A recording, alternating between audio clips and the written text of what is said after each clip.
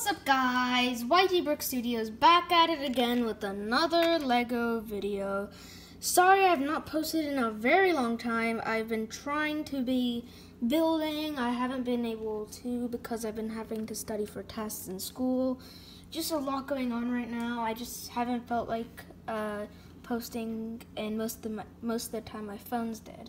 So uh, yeah, that's the reasons why. I haven't posted nearly a month, but as you can see here, um, I have a MOC. So this is part two. I'm not gonna do another four parts of this MOC series. Uh, this is gonna be the last part, but um, yeah, but um, I will be doing a detailed video today. And uh, yeah, so as you can see, this is the other part of the Normandy MOC. This part broke. Uh, but as you can see, there's just one guy, one of my soldiers. He has a little pistol bolt, and he is shooting at this German right here with the M MP40. Um, as you can see, I didn't do too well with the dilapidated building there. By the way, there's also someone in the bushes there. Uh, here, as you can see, um, there is a person entering this building, and there is a skeleton and a German general trying to uh, pounce, waiting to pounce.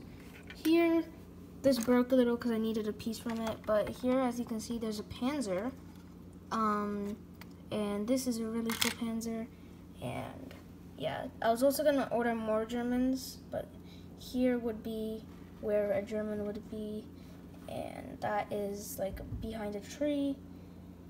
And yeah, so I did lots of detail with the bushes. Uh, not uh, not so much. Uh, uh like this was really uh, looked really nice and it was quite easy to build. But it looks really nice, yeah, and it was really fun to build this. So yeah, that's pretty much it. Not too long, so not actually too detailed. But uh, the tree, I just used a bunch of pieces. Uh, tank, same. This is the same.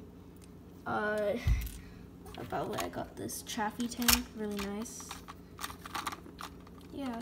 So, other than that, uh, and uh, I hope you guys enjoyed the video after a really long time.